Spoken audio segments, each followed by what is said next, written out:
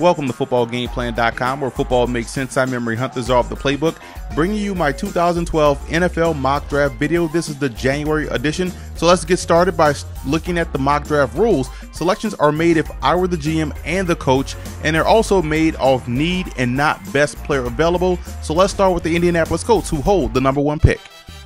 The Colts look like they're going to be starting from scratch, so why not start with Andrew Luck? This guy can make all the throws, can make every pass that you want. But what I like is his athleticism, his Aaron Rodgers like athleticism out the pocket. And I think that right there, combined with his amazing passing ability, makes him one of the best prospects in this draft.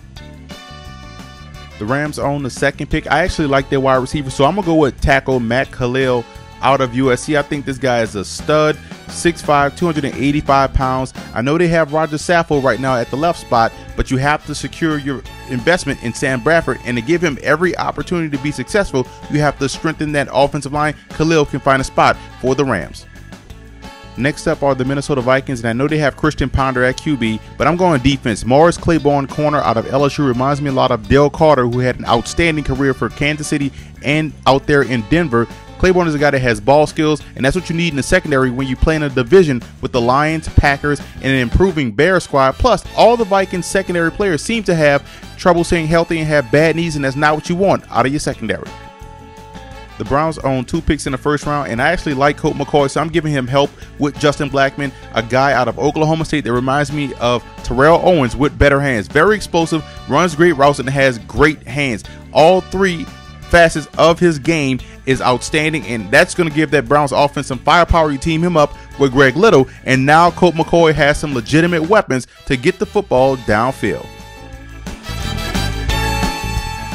Next up are the Tampa Bay Buccaneers. I'm going straight defense. Vontaze Burfict. I like this guy a lot. I can care less what everybody else says. He's going to be my starting linebacker. This guy is a ferocious hitter. Reminds me a lot of Ray Lewis and his explosive ability on defense. Yes, he can calm down a little bit, but you want your crazy and aggressive guys on the defense side of the football. And I think this guy will be a stud at the next level.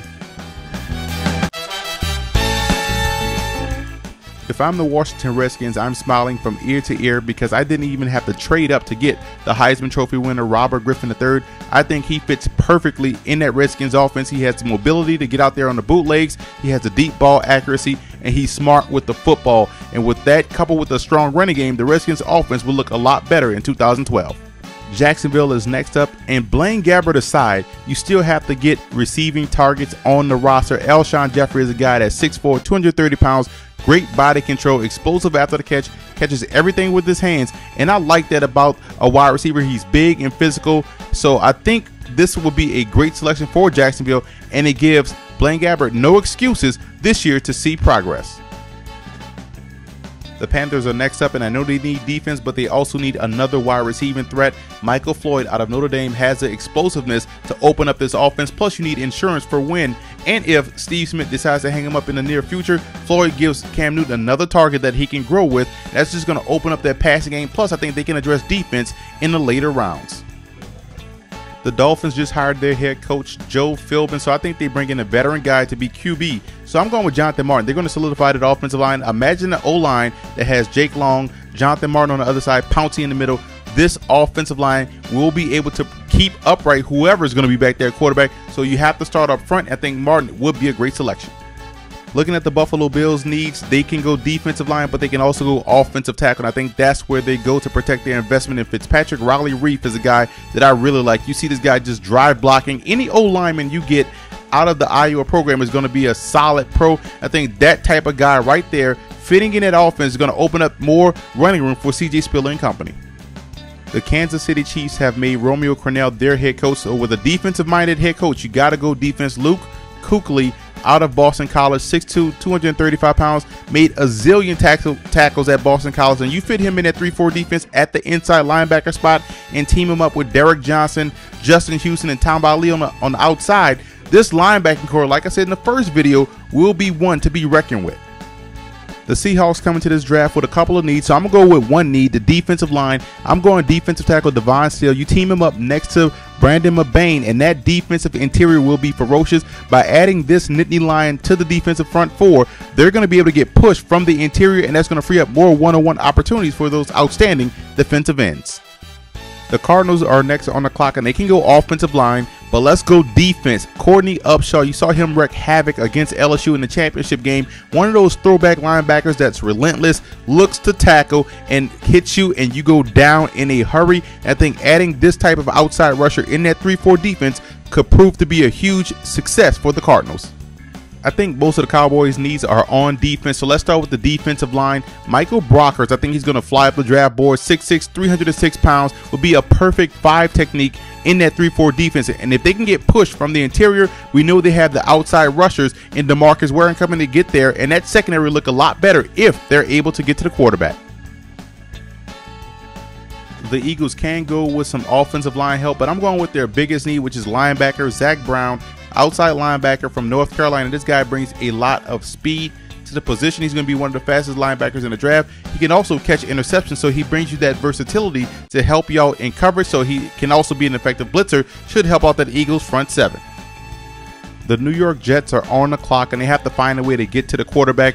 Melvin Ingram is a guy that was chaos on wheels. I know I said that about Muhammad Wilkerson last year. So you bring this guy to the defense, and this is a guy that will live in the backfield, always has a knack for the big play. And when you have that type of pressure coming from the outside, that Jets defense will get back to prominence like it was two seasons ago the Bengals own two first round selections, and last year they struggled on the interior of their offensive line, which is why I'm giving them David DeCastro, a guy that's very athletic, can get around on those pulling plays, those trap plays, and does a great job of stonewalling defenders at the point of attack. That's going to plow open that running game once again, and the Bengals will be able to operate off play action.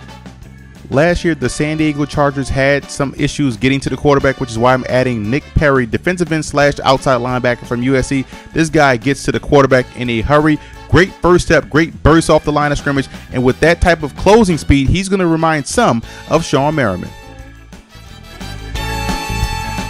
The Bears offense struggled when they lost Forte and also Jay Cutler for the season, but they really struggled because they couldn't own the middle of the field, and I think that's where Dwayne Allen helps out. This guy is an explosive playmaker from the tight end position, and when you have a good tight end, you see right now in this day and age in the NFL, teams that have effective tight end play are teams that go deep into the playoffs.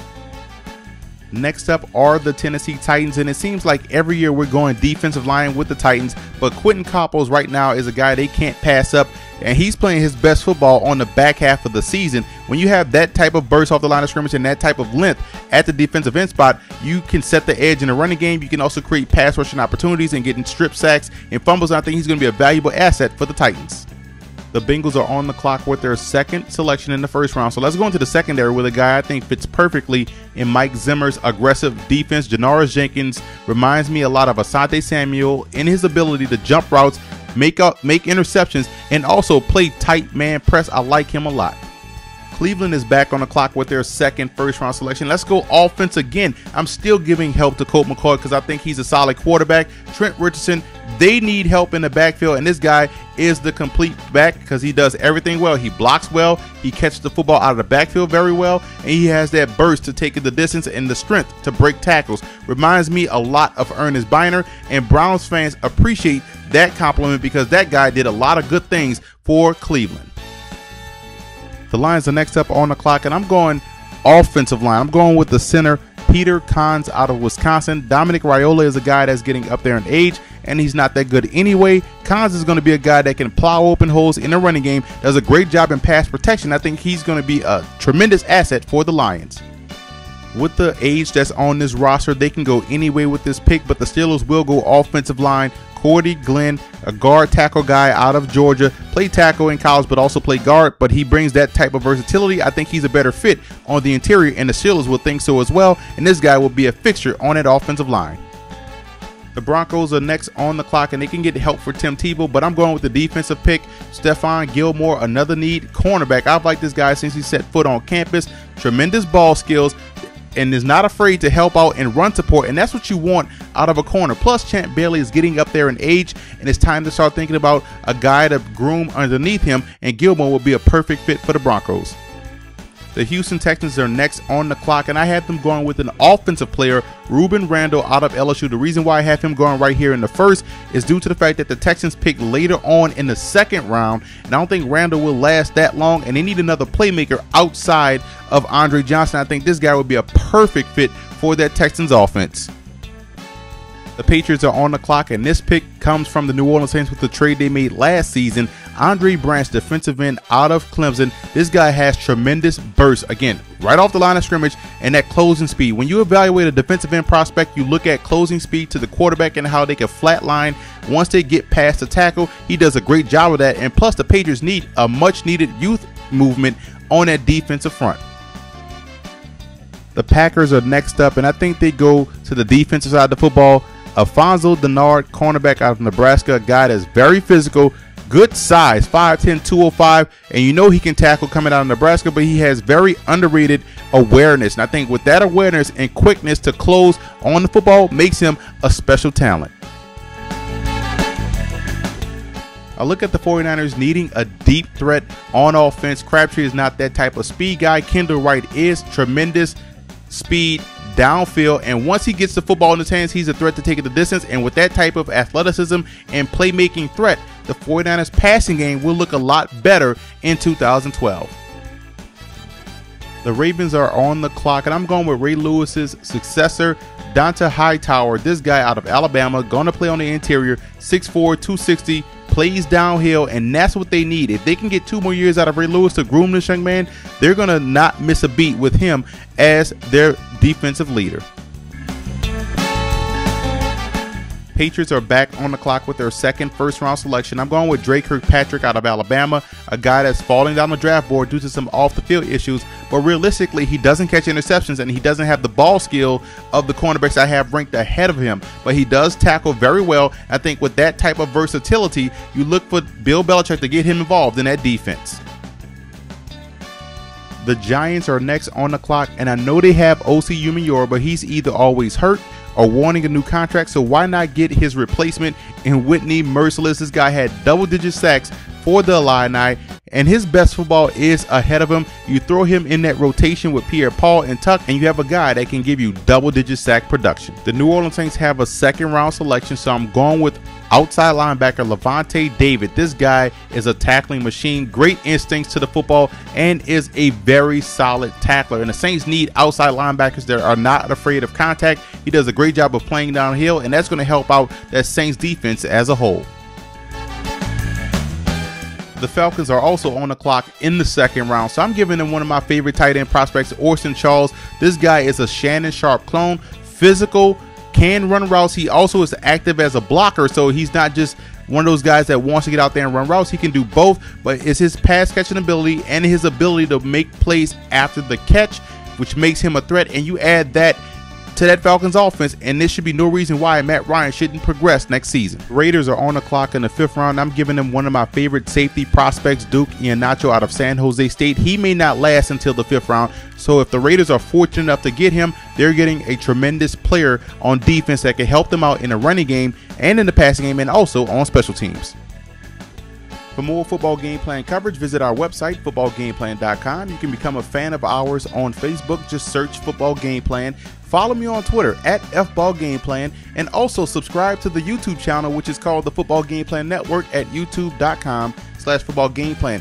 Every Saturday, 11 a.m. Eastern Time, check me out on the Football Game Plan radio show located at blogtalkradio.com slash football game plan. And for more draft analysis, check our draft analyst, Chris James. Follow him on Twitter at CJ49 and also view his articles at footballgameplan.com slash draft. And every Thursday, 6 p.m. Eastern Time, listen to his draft prospects preview show at blogtalkradio.com slash football game plan.